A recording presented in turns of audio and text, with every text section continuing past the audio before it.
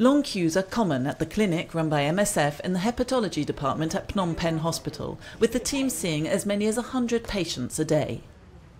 As the only facility in Cambodia delivering free screening and treatment for hepatitis C, patients come from all over the country to consult.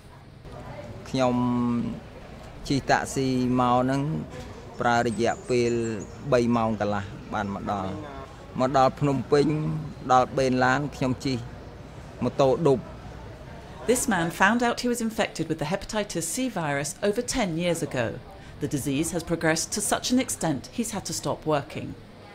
With no money coming in, it was impossible for him to benefit from the new and radically improved drugs now available, direct acting antivirals that are highly effective but prohibitively expensive. With diagnosis and treatment costing the equivalent of six times the average monthly wage, people who earn less simply can't afford them. ប៉ុន្តែកូនខ្ញុំវាប្រាប់ខ្ញុំថាពុកអើយតម្លៃថ្នាំនឹងថ្លៃណាស់អញ្ចឹងខ្ញុំចេះតែគិតគិត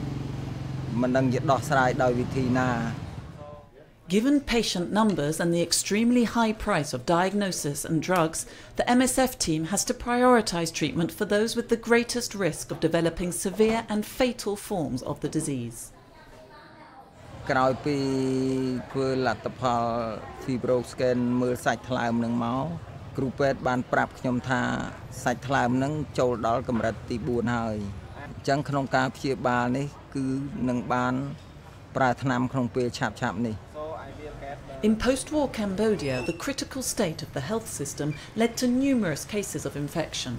Up until 2000, Cambodians contracted the hepatitis C virus from poor sterilization practices. By the end of April, the team had already provided 900 patients with treatment. Given the extent of the needs, MSF is developing a treatment model for the Ministry of Health to roll out across the country. The majority of our patients are pretty poor, so this is a hardship for them to have to come all the way to Phnom Penh um, to get treated for hepatitis C, but they are doing it.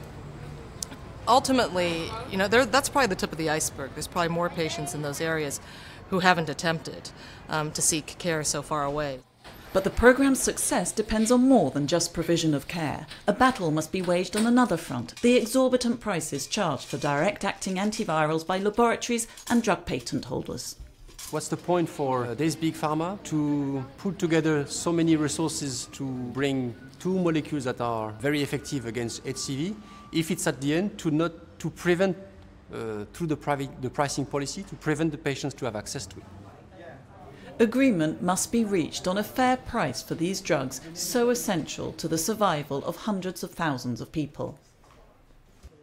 I saw a man yesterday who said to me, I know these medicines are so expensive. He held up his bottle and he said, I dropped one on the floor the other day and it was like I dropped my heart.